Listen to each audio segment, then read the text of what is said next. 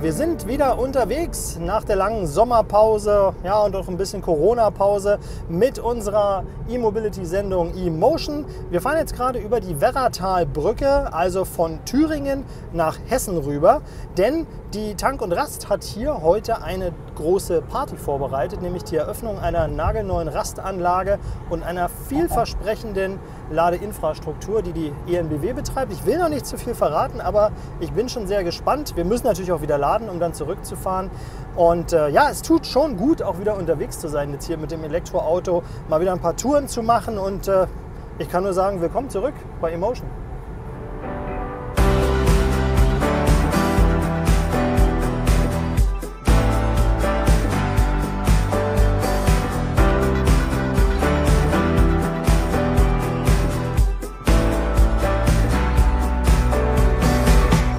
Dann wollen wir mal zum ersten Mal laden hier in Werratal Süd. SOC bei 22 Prozent. Muss dann auch sozusagen. Und damit heute dann auch noch die Fahrt nach Berlin klappt. Mit Tankwart-Service. Hei, hei, hei, hei. Selbstverständlich. Jörg Hofmeister ist hier. Chef für alles Elektrische bei Tank und Rast. Ganz genau. Herzlich willkommen, Peter. E-Mobility. Ja, vielen Dank. So, jetzt wollen wir mal gucken. Verbindung wird aufgebaut. Ah, ich muss ja noch hier Gas Das ist jetzt geben. der linke. Nehmen wir den, genau. Genau. So, Ladekabel ist schon drin. Müsst ihr ja eigentlich ja jetzt erkennen. Und dann loslegen. Genau, 22 Prozent. Und jetzt gibt es Vollstrom für mein Auto und wir können ein bisschen plaudern über diese tolle Anlage hier, oder? Ja, Ladestationen und die gute alte Zapfsäule für Benzin und Diesel unter einem Dach. Ist das der Durchbruch, der finale Durchbruch der Elektromobilität in Deutschland? Peter, ich glaube, damit bereiten wir uns zumindest auf den Durchbruch der Elektromobilität in Deutschland vor. Wir haben in den letzten Jahren ja schon als Tank und Ras gemeinsam mit dem Bundesverkehrsministerium, auch mit den Kooperationspartnern angefangen, ein flächendeckendes Netzwerk zu schaffen. Diese Flächendeckung ist heute schon Realität und haben wir gestern noch von 50 kW gesprochen, sprechen wir heute schon von 300 kW, äh, was natürlich die Ladeleistung massiv verkürzt. Und das gehen wir in den nächsten Schritt. Äh, Wir sehen, dass die Frequenzen, auch die Anzahl der Ladevorgänge sich sehr, sehr stark entwickeln, äh, auch trotz Corona in den letzten Monaten. Und wir wollen jetzt den Schritt gehen, das Kundenerlebnis noch weiter zu verbessern.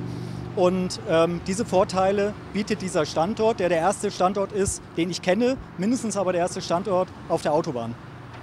Tatsächlich haben wir gerade im Hintergrund gehört, dass noch nicht alles elektrisch fährt. Insofern wird das da drüben zumindest noch ein bisschen gebraucht. Aber vielleicht können wir über den Standort mal so ein bisschen reden. Wir haben jetzt hier eins, zwei, drei, vier äh, Ladestationen. Welcher Leistungsklasse und wo kann die Reise hier noch hingehen? Ganz genau. Wir haben hier direkt unter dem Dach haben wir drei Ladesäulen mit jeweils zwei Ladepunkten mit bis zu 300 kW Ladeleistung. Was natürlich das Besondere ähm, an diesem Standort ist, ist, dass wir einmal eine deutlich bessere Auffindbarkeit haben, als das sonst der Fall ist. In der Vergangenheit hat man sich überlegt, okay, wo kann so eine Ladeinfrastruktur ganz gut stehen? Da war der Ladevorgang noch deutlich länger, also war er meistens im hinteren Bereich, in der Nähe der Rastanlage. Und hier haben wir uns entschieden, das tatsächlich sozusagen gleichberechtigt mit dem Tankvorgang zu machen. Ich nenne es immer äh, die Demokratisierung von Laden und Tanken, ähm, wo wirklich jeder die Wahlfreiheit hat. Und du hast natürlich hier den Vorteil, du siehst es direkt, wenn du von der Autobahn abfährst. Du hast hier äh, die Möglichkeit einer Durchfahrtlösung, das heißt, kannst hier mit Anhänger auch laden oder vielleicht Das finde ich besonders Ja. schön gelöst hier. Genau. Auch die Transporter, die jetzt so auf den Markt kommen mit den unterschiedlichen Positionierungen des Ladeanschlusses, da kann ja hier jeder so seine Lücke finden und muss vor allem nicht mehr rangieren. Ganz genau. Und das ist der Punkt. Und das ist genau diese Strategie, die wir verfolgen, wenn wir sagen, okay, wir kommen langsam in Richtung des Massenmarktes, ähm, prüfen also auch weitere Standorte, insbesondere neue Standorte oder auch Standorte, die wir äh, umbauen, ob wir tatsächlich solche Layouts oder ähnliche umsetzen können. Das ist ja hier jetzt eine ganz neue Anlage, Werratal Süd, gebaut. Was wurde hier investiert und kann man das so wirklich an vielen Standorten auch noch machen? Ja, also der Standort ist natürlich ähm, etwas teurer als die anderen Standorte. Wir haben natürlich auch mehr Ladepunkte, wir haben ein verlängertes Tankdach, wir haben an sich mehr Flächen. Ähm, der Standort in Summe hat äh, 7 Millionen Euro gekostet. Da kommen ungefähr nochmal so ähm, 800.000 Euro für die äh, Ladetechnik dazu. Die hat unser Kooperationspartner EMBW getragen. Ähm, ja, und wir freuen uns sehr, dass wir diesen Standort jetzt hier heute eröffnen können, weil wir einfach glauben, dass wir ganz viele Aspekte des Kundenerlebnisses hiermit verbessern.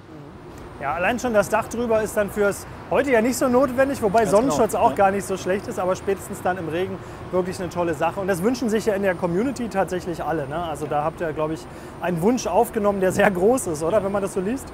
Absolut, ja. Schutz vor Wind und Wetter und tatsächlich auch da diese Gleichberechtigung. Natürlich kriegen wir auch Feedback, Mensch, der Tankkunde ist geschützt, wenn es mal ein bisschen windiger ist oder wenn es regnet. Der Ladekunde leider nicht. Und äh, genau das ähm, setzen wir jetzt hiermit um. Und wir wollen auch in Zukunft stärker auf Überdachung setzen, äh, stärker auf Durchfahrtslösungen setzen, stärker auf ska- skalierbare Lösungen setzen. Du hast hier auch den Vorteil, dass wenn es tatsächlich mal so sein wird, dass der Bedarf an Laden größer wird, äh, dass wir dann vielleicht auch einmal ähm, eine Zapfanlage vielleicht mal zurückbauen, dort neue Ladesäulen hinstellen. Das heißt, hier ist eine skalierbare Lösung geschaffen worden, ähm, ja, die wir in den nächsten Jahren dann auch nutzen. Also Netzanschluss entsprechend groß ausgelegt auch. Genau, wir haben hier schon Netzanschluss von 1,6 Megawatt. Äh, das heißt, wir können hier durchaus noch weitere Ladesäulen erweitern, ohne dass wir den Netzanschluss direkt äh, vergrößern müssen. Schön. Dann äh, ist ja der Boden bereitet für den Ausbau und den Hochlauf der Elektromobilität. Und bevor es hier jetzt gleich an die Eröffnung geht, sollen wir noch einen Kaffee trinken? Ich würde dich gerne auf einen Kaffee einladen. Oh, danke. Dann schauen wir mal rein in die neue Anlage hier.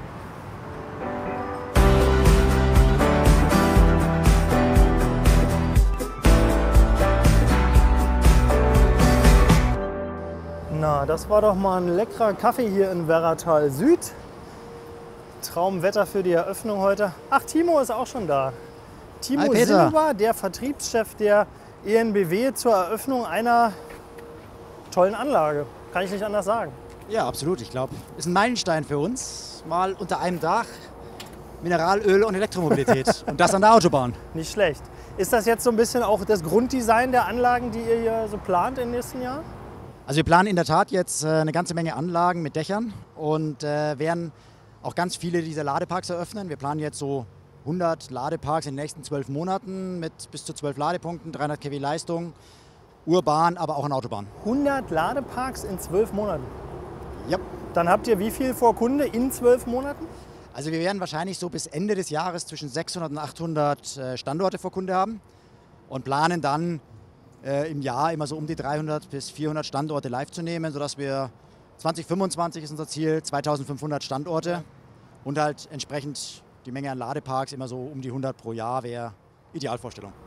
Also man kommt ja schon gar nicht mehr mit. Also ENBW ist ja gefühlt gerade jede Woche bei uns im Newsletter. Ähm, was ist denn so jetzt die Strategie? Hochleistungsladen kennt ja jetzt nicht mal mehr die Begrenzung auf die Achsen, sondern ihr macht es ja quasi überall. Ja, und das ist genau die Strategie. Du, du sagst es, wir wollen Hochleistungsladen überall verfügbar machen. Wir haben ja angefangen mit den Achsen. Das waren die Beginne von Tank und Rast. Jetzt sind wir hier so, ich sag mal, Tank und Rast 3.0, nenne ich es jetzt mal. Ja.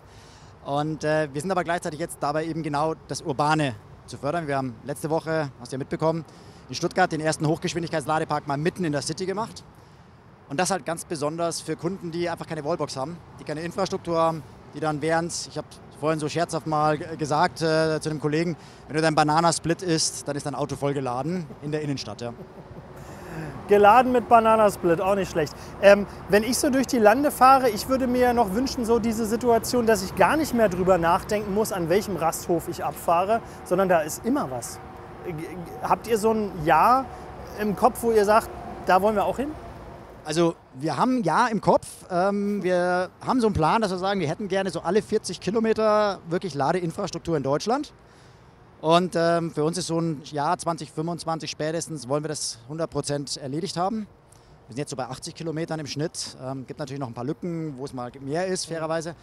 Ähm, aber 40 Kilometer ist so die Idee, wo wir sagen, da soll das, die Hochgeschwindigkeitsladeinfrastruktur stehen.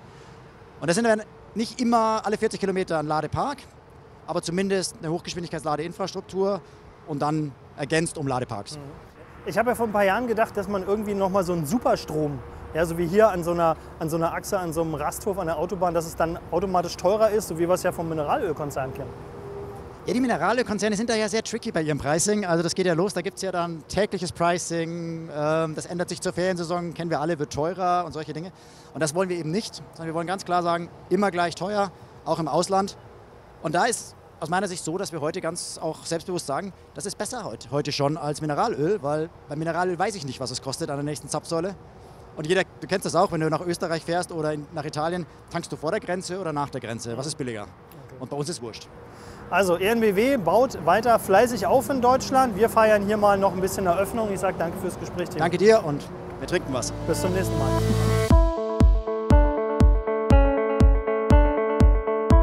Es freut mich sehr, Sie hier heute an der Rastanlage Werratal begrüßen zu dürfen. Die Anlage, wie Sie sehen, ist erst jüngst in Betrieb gegangen. Alles ist noch ganz, ganz neu. Eigentlich sind es so Momente, wo man dann als Politiker gern mit dem Elektroauto anfährt.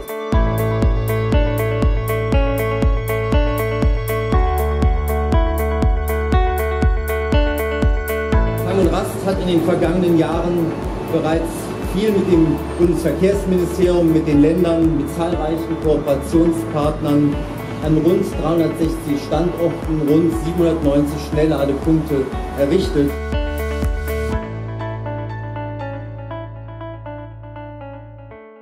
Ja, Werratal ist eröffnet. Bei mir ist jetzt Steffen Bilger, Staatssekretär im Verkehrsministerium und damit ja quasi auch zuständig hier für die Autobahnen. Ja, was sagen Sie zu dieser Anlage?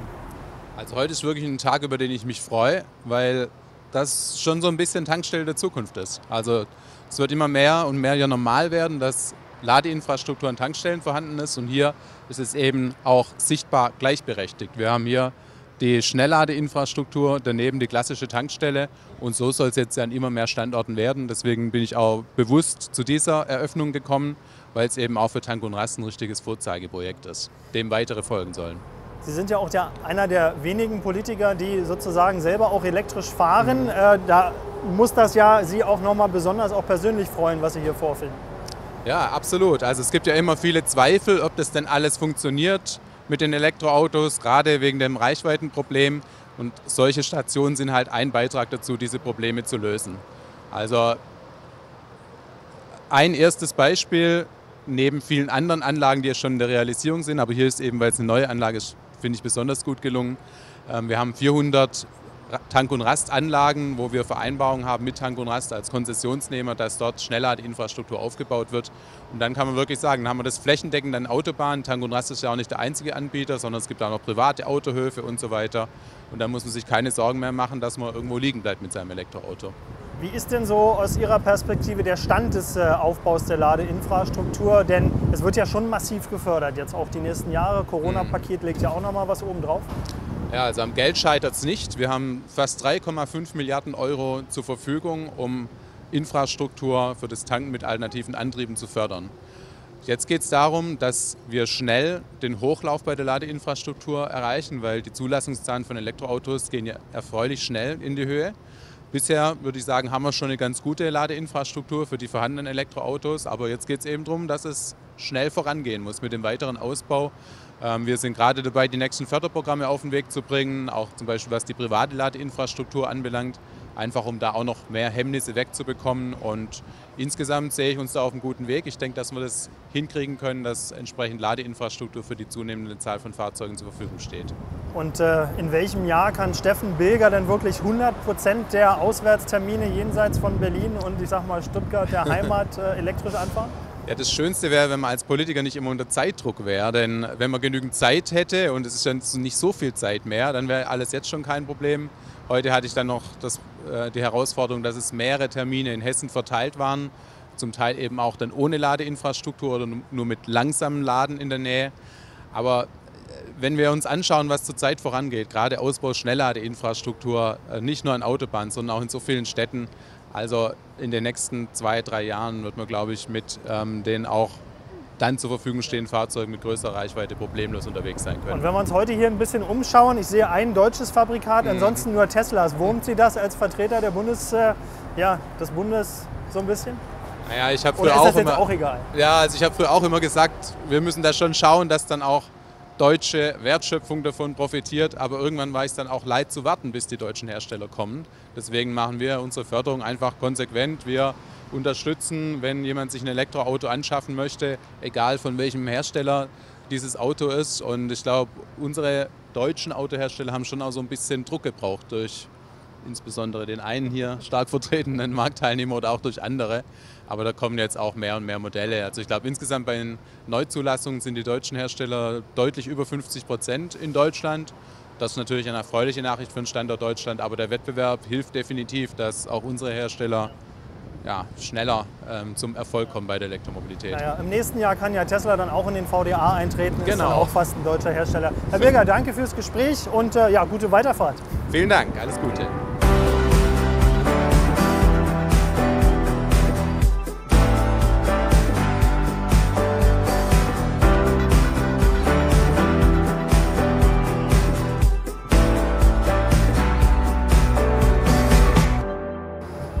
Knapp 90 Prozent SOC, 50 Kilowattstunden geladen. Ja, das sollte doch reichen bis Berlin. Die knapp 400 Kilometer. Und das war mein erster Ladevorgang hier in Werratal Süd an dieser neuen Anlage von Tank und Rast und ENBW. Und das war auch unsere erste Emotion-Sendung nach der Sommerpause. Ich sage Tschüss, bis zum nächsten Mal und Tschüss wieder nach Berlin. Macht's gut.